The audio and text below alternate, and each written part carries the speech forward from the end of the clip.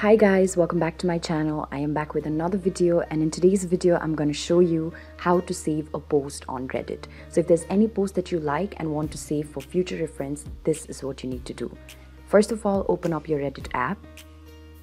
And then as you open up the app and land on your homepage, several posts of the communities that you're following will land on your profile. Now, if you like a certain post, what you can do is you can simply tap on the three dots that are on the upper right corner of that particular post. And then here you will have an option that says save. Tap on save.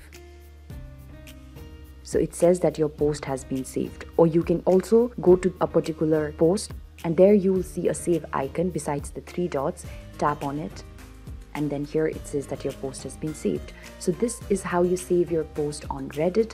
I really hope that this video has been useful to you. If you like the video, you know what to do. Don't forget to like, share and subscribe to the channel.